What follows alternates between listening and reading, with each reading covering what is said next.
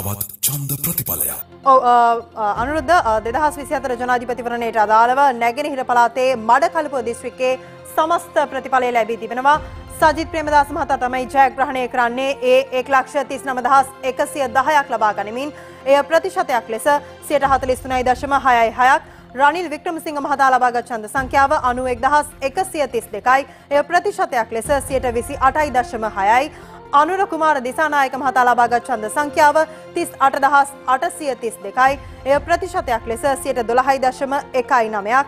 අරිය නේත්‍රන් පාකේ සෙල්වන් මහතා ලබාගත් ඡන්ද සංඛ්‍යාව 36905යි. එය ප්‍රතිශතයක් ලෙස 11.5යි 8ක්. ඒ නැගෙනහිර පළාතේ මඩකලපුව දිස්ත්‍රික්කයේ සමස්ත ප්‍රතිඵලය.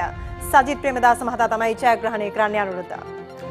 ඔව් එයාකාරයෙන් තමයි අපට ඉක්මනින් ඉක්මනින් ඡන්ද ප්‍රතිඵල ලැබෙන්නේ. දේශීයම බලකන් වන අංක එකේ home broadband SLT Mobitel fibre